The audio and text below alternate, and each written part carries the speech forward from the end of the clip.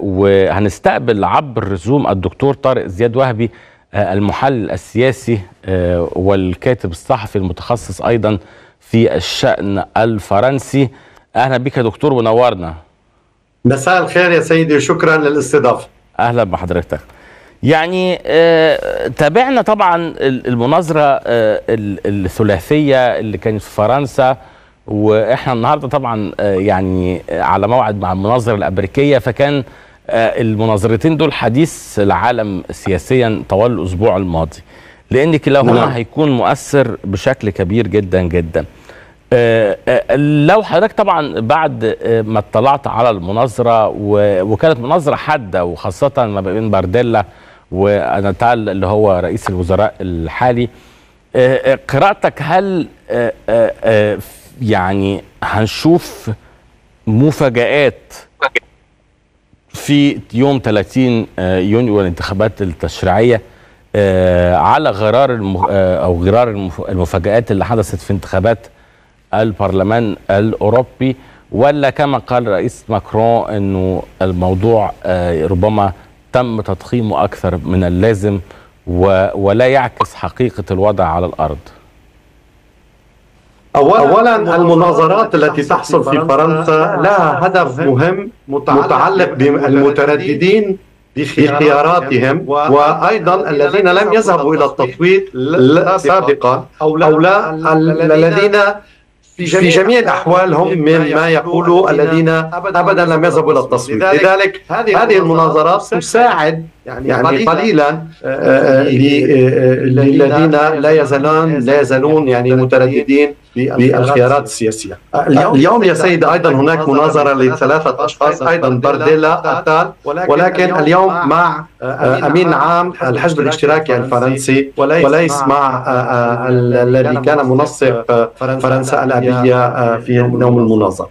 زد على ذلك أن هذه المناظرة هي تقريبا ما يسمى نوع من امتحان شفهي لمنصب رئيس الحكومة.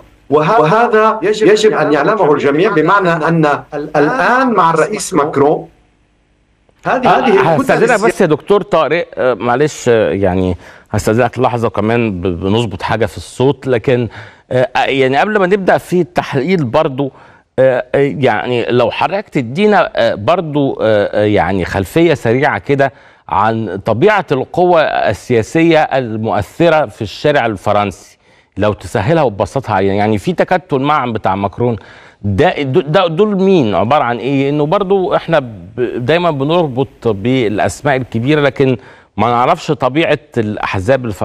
أو مش كتير مننا ملم بطبيعة الأحزاب الفرنسية وتوجهاتها وكده. إحنا كان عندنا ثلاث تكتلات رئيسية في هذه المناظرة ومنهم كتلتين يسار وكتلة يمين متشدد للغاية لكن مش فاهمين حتى الفرق بين اليسار ده واليسار ده إيه ويعني لو تدينا بس خلفية بسيطة كده ونكمل الشرح عادي.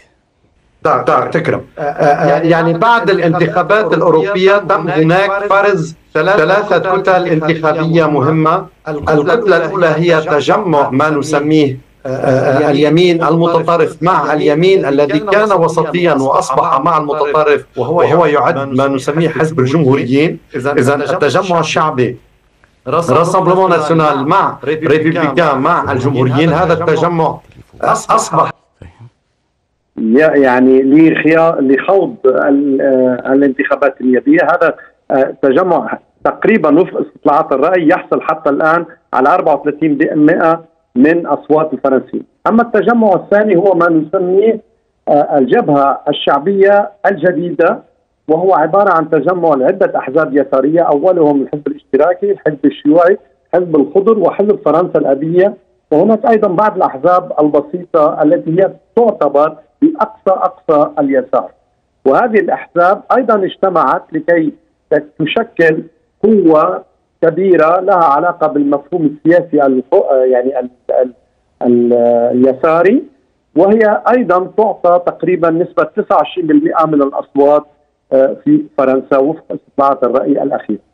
أما التجمع الأخير وهو تجمع يعني يسمى ائتلاف رئاسي وهو يضم Renaissance النهضة وهو حزب الرئيس الحزب الثاني هو حزب Horizons أفاق وهو حزب إدوار فيليب والذي هو كان سابقا أول رئيس حكومة للرئيس ماكرون. والحزب الثالث هو حزب مودام وهو الحركة الديمقراطية ورأسه رئيس بلدية في الجنوب الفرنسي وهو أيضا حزب يميني وسطي. الحزب الرابع هو حزب UDI Union des démocrates indépendants تجمع الديمقراطيين المستقلين. والحزب الأخير الخامس هو حزب الراديكالي ال Parti radical وهذه الأحزاب تجتمع سويا أيضا لتشكل ما نسميه خط جديد وسطي بين اليمين المتطرف وبين اليسار تحت شعار معا نحو الجمهورية ويعطى تقريبا 20% من أصوات الفرنسيين في فرنسا. اذا معا ده بيمثله الرئيس ماكرون برضه صح؟ نعم هذا هو ما يسمى بالائتلاف الرئاسي ولو انهم الجميع لا يضعوا صورة الرئيس ماكرون على أوراق الترشيح لأن أصبح الرئيس ماكرون نوع من عائق انتخابي لأنه هناك وجهة نظر تقول آه. أن خياره بحل البرلمان أوقع نوع من الثقة الغير موجودة بينه وبين الأغلبية التي كانت معه والتي كانت صحيح نسبية ولكن هناك كان هناك 260 نائبا تشكل هذه الأغلبية. آه. الأغلبية المطلقة بالبرلمان الفرنسي هي 289 نائبا من أصل 577 مقعد امم عشان كده بعض الصحف الفرنسية أشارت إنه اسم الرئيس ماكرو وده كان غريب. يعني لم يذكر في في المناظرة إلا مرة تقريبا أو شيء من هذا القبيل يعني. الموضوع هو أن الآن شعبية الرئيس ماكرون لا تتعدى 21% من الشعب الفرنسي. وهذه استطلاعات رأي نعم. يعني اوصلتنا إلى هذا الموضوع وخصوصا أن الحقبه الثانية للرئيس ماكرون يعني عندما قدم في الحقبة الثانية م. لم يستطع أن يكون لديه ما نسميه هذه الأغلبية المطلقة ليحكم البلاد. فقط كان لديه 260 نائبا. يعني نقصه 39 نائبا 29 نائبا وهو حاول كثيرا مع حزب اليمين الوسط أي الجمهوريين ولكنهم لم يقبلوا بالخوض بما نسميه ائتلاف حكومي. وها هم الآن هذا الحزب حزب الجمهوريين قد انفجر إلى ثلاثة أحزاب. جزء منه ذهب مع اليمين المتطرف جزء منه ذهب مع اتحاد الأحزاب التي هي للرئاسة. وجزء آخر يعتبر نفسه مستقلا عن هذه ال ال يعني الطرفين وهو يريد خوض الانتخابات لوحده وهنا يعني هناك يعني مشكلة كبرى لغط كامل لموضوع الجمهوريين في دوائر الانتخابيه في نعم مفهوم هناك تراكم لعدد كبير من السياسات التي هي يمينية أو يسارية لم م. تستطع أن تصل بالبلاد إلى بر الأمان والمشكلة م. الكبرى أنه الآن الفرنسيون هم أمام يعني عائق كبير له علاقة بما نسميه العيش اليوم. بمعنى أن عندما تسأل أي فرنسي يقول لك أنا ما يهمني الآن هو المعيشه ما يهمني الآن هو كيف أستطيع عبر الراتب التي أتق... الذي أتقاضاه أن أصرف به وأنا أعيش وأن يكون لأولادي مستقبل لاحق وهذا دخل بما نسميه الخطاب الشعبوي الذي تعتمده السيدة مارين لوبين والسيد جوردان بارديلا وعدد كبير من النواب الذين هم الآن في البرلمان. يجب أن لا ننسى أن حزب الجبهة الوطنية عفوا حزب التجمع الوطني يملك حتى اللحظة 89 نائبا في البرلمان الحالي الذي حل. هذا يعطيك إلى أي مدى استطاعوا عبر فشل الآخرين أن يبنوا ممكن نجاحهم لاحقا.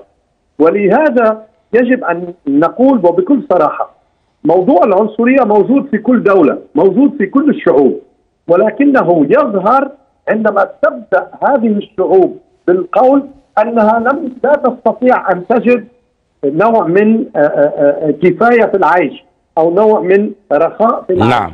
لذلك الآن هناك أصوات كبيرة تقول على الأجانب أن يخرج لكن يجب أن لا ننسى الرقم مو يا سيدي هناك 30% من الشعب الفرنسي 30% يحمل جنسيتين يعني نعم. هو لديه تقريبا فرنسا ودولة أخرى هي الدولة التي هي آه. إما آبائهم أو يعني ابوها أو أمه آه. أو حتى ودي كانت مثار خلاف كبير في المناظرة يعني لأنه نعم. الحزب التجمع طالب بعدم توليهم مناصب حساسة وكانت خناقة مع أتال نعم نعم وهذا يعطيك إلى أي مدى هذه يعني مواضيع جد عنصرية في هذا الموضوع.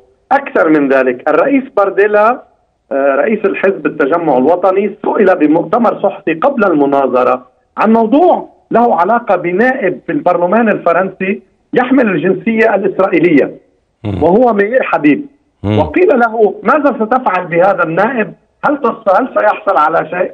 لم يستطع أن يجيب. وأدار السؤال بمنطقه بمنطقه فوق يعني لم نستطع ان نجيب ولكن يعني حاول ان يقول أن موضوع حاملي المزدوجين الجنسيه ليس موضوعا كما يقوم به الأعداء بحسب السيده مالك بوفال.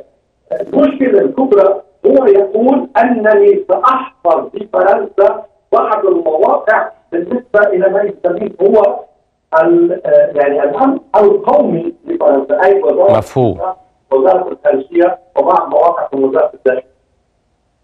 نعم آه على أي حال إن غدا لنظيره قريب الكل يترقب بالتأكيد الانتخابات في فرنسا ستؤثر بشكل كبير على كل أوروبا أنا بشكرك نعم. الدكتور طارق زياد وهبي